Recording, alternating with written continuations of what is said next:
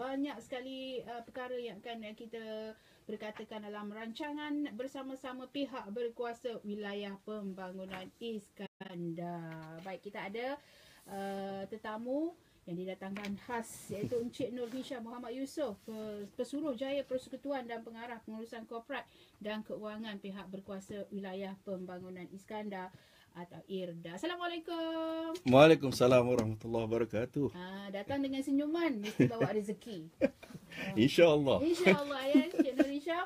Baik, uh, bersama-sama dengan KJ pagi ni selama setengah jam insyaAllah kita akan buat bicarakan perkara yang ada kaitannya dengan kecemerlangan Iskandar Malaysia yang mana IRDA dijadikan sebagai salah satu tunggak untuk memacu kecemerlangan tersebut. Sebelum kita cerita tentang lebih uh, panjang lagi berkaitan dengan IRDA ini ataupun pembangunan Iskandar Malaysia.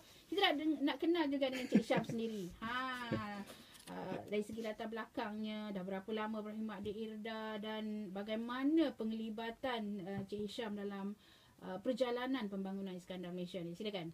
Ya, terima kasih banyak-banyak KJ. Mm-hmm. Uh, Assalamualaikum dan salam muafakat Johor mm-hmm. dan salam negaraku. Uh, selamat pagi pada semua pendengar Johor FM. Mm-hmm. Uh, harap semua dalam keadaan sihat sejahtera. Amin. Amin insyaAllah. Ribuan terima kasih saya juga pada Johor FM Ya. kerana memberikan uh, ruang untuk kami uh, berkongsi perkembangan mengenai Iskandar Malaysia. Uh, sebelum itu saya kenalkan diri dulu, saya dulu. Nama saya uh, Nur Hisham bin Muhammad Yusof. Hmm. Saya telah pun berkhidmat di Iskandar Malaysia selama lebih uh, hampir 11 tahun. Bulan Mac 11 tahun. bulan Mac tahun depan ni masuk 11 tahun. Wah. Jadi bila Iskandar Malaysia dia meraihkan uh, uh, ulang tahun ke-10 tu samalah saya di sana. Saya antara staf yang paling awal Aha, di Iskandar Malaysia okey. dan dari uh, awal pelibatan uh, IRDA dalam pembangunan Iskandar Malaysia ni saya telah memegang jawatan sebagai uh, uh, pengarah bahagian korporat, uh, pembangunan korporat dan kewangan. Uh, maknanya saya jaga duit lah. Wah. Nak cara cerita saya jaga Ya, duit, kan? jaga duit Ah, IRDA lah. Senang Ah, nak fikir lah. saya juga jaga uh, rancangan perniagaan kita uh, dan pembangunan perniagaan kita uh, dan se- sebagai uh, juga Pesuruh Jaya Persekutuan uh, IRDA saya juga menjadi uh, koordinator antara uh, badan-badan berkanun di Kerajaan Persekutuan di Putrajaya dengan IRDA. Hmm. Jadi saya memainkan peranan untuk men, uh, men, menyambungkan uh, Kerajaan Persekutuan dengan IRDA. Hmm. Um, uh, kita di IRDA ni pun saya pun dari mula di IRDA ni pun uh, um, uh, saya memang dari bahagian pengurusan saya ni uh, accountant. Hmm. Seorang accountant sebagai dari segi career career wise lah. Ker- Ah. apa ni uh, perjawatan yang yang uh, anak-anak kita sekarang ni ramai yang fikir nak jadi accountant Betul, kan? betul, Ah, betul. kan? Jadi accountant ni saya rasa orang orang pun kena tahu bukan dia bukan bukan jaga akaun je. dia banyak banyak sebab sebab saya cerita sedikit saya punya uh, career pengalaman sebelum IRDA ni saya juga ketua juru audit dalaman Pos Malaysia Berhad. Oh, Uh, okey. selama di sana dan saya juga pernah uh, menjadi uh, auditor bertauliah di Ernst Young Mhm. dan juga pernah bekerja sebagai juru audit di luar negara di Banyak United pengalaman Kingdom. Oh. Jadi dalam dalam uh, pengalaman kerja saya ini bukan semua banyak melibatkan juru audit, perancangan perniagaan, bahagian corporate governance.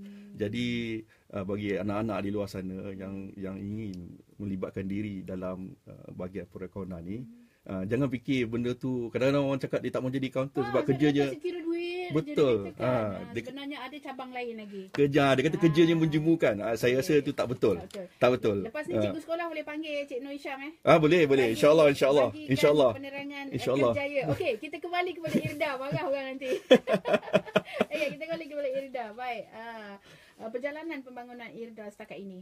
Well, uh, IRDA adalah sebuah uh, badan berkanun kerajaan persekutuan. Hmm. Uh, Malaysia ni beri mandat untuk merealisasikan wawasan membangunkan uh, Iskandar Malaysia ini menjadi sebuah metropolis antarabangsa Hmm. yang kukuh dan mampan. Hmm. Jadi uh, saya punya pelibatan dengan IRDA ni termasuk dalam berbagai uh, section lah. Antaranya nak menentukan kewangan yang mencukupi untuk menjalankan infrastruktur, infrastruktur projek infrastruktur di kawasan Iskandar Malaysia di mana IRDA menjadi agensi pelaksana. Dan juga saya nak kena tentukan bahawa kita mempunyai uh, resources di IRDA untuk menjalankan kita punya tanggungjawab kita ni. Um, uh, kita pun bekerjasama dengan banyak agensi lain dalam menjalankan uh, membangunkan Iskandar Malaysia ni lah. Uh, ya, nak membangunkan Iskandar Malaysia ni memang suatu cabaran yang begitu hebat. Ya.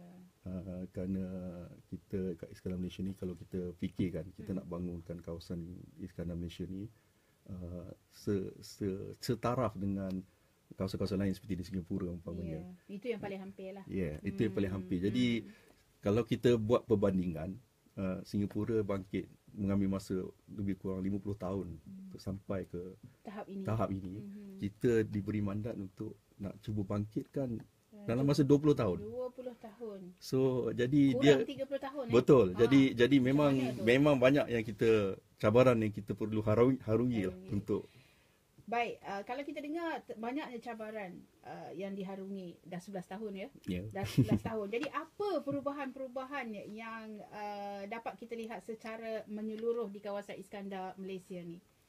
Um, saya sejak saya mari ke kawasan Iskandar Malaysia ni, Mm-mm. uh, boleh saya rangkumi dalam tiga perkara lah. Hmm. Uh, satu kalau kita tengok dari segi infrastruktur. Hmm. Uh, semasa kita mula-mula mari ke kawasan Iskandar Malaysia ni, masa tu uh, tak banyak uh, pembangunan uh, infrastruktur yang betul-betul mampan, yang bertaraf antarabangsa.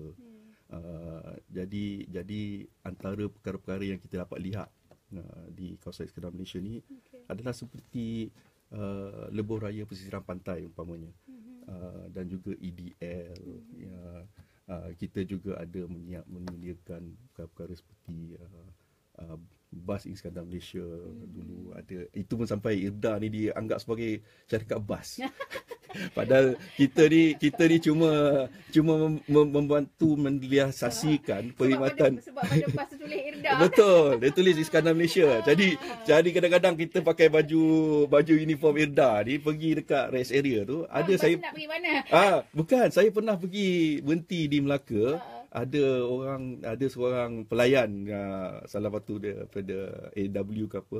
Dia tanya saya, "Bang, bang, uh, ni syarikat bas Iskandar ni ada kerja lagi tak?" Ah, tapi satu itu perkembangan yang baik juga tu. Betul, at least orang Melaka tahu. Ah, orang Melaka tahu ada Irda. Okey, walaupun dia kata uh, syarikat bas kan. Okey, itu wujudnya Ah, uh, sistem pengangkutan. Uh, dari first, lagi, lagi satu dari segi uh, ini gaya hidup. Hmm. Uh, gaya hidup mula saya mari dulu uh, masa mula-mula dulu uh, tak banyak antaranya uh, kafe-kafe antarabangsa umpamanya. Hmm. Dulu saya ingat nak mari nak cari McDonald pun susah. Wah, Orang dia dah mula dah. ah tapi kalau kita pergi sekarang McDonald, Starbucks apa semua dah jadi Semua dah kebiasaan. ada. Tapi Hmm. saya rasa yang lebih penting ialah kalau kita tengok kafe-kafe kecil yang membangun di sekeliling kawasan Johor Bahru, Ya. dia dia dia melibatkan uh, peluang-peluang perniagaan. Mhm. Jadi banyak saya tengok uh, orang Melayu kita yang Usahawan. ya yeah, usahawan Melayu kita yang sekarang terlibat dalam kafe-kafe kecil. nampak kan? Dah nampak, Dah dah, nampak. nampak. Jadi kita pun dulu kalau saya ingat saya mari dulu saya tanya kat Johor ni gimana kan. Ah, Uh, jawapan selalu sama je lah. Kalau makan goreng pisang, goreng pisang. ah, Kita beli-beli goreng pisang kat mawar tu. ya, tapi Ah. sekarang dah ada yang lain. Ah, lepas tu goreng pisang ada kicap lah. Ah. Saya pun kicap, goreng pisang. Ah, makan kicap. Oh, tak apa. Sekarang- dah 10 tahun ni, dah 11 tahun dah boleh makan dah goreng pisang, Itu- kicap. Itu, itu nampak sangat orang Pantai Timur. Yang kita dapat congkir daripada Cik Nuri Hisham dalam rancangan uh, tajaan yang dibayar siarannya oleh uh, pihak berkuasa di wilayah pembangunan Iskandar pada pagi ini. Terus dengan kami untuk uh, tempoh uh, setengah jam uh, di Johor FM Permata Selatan. Kita rehat seketika kembali selepas ini.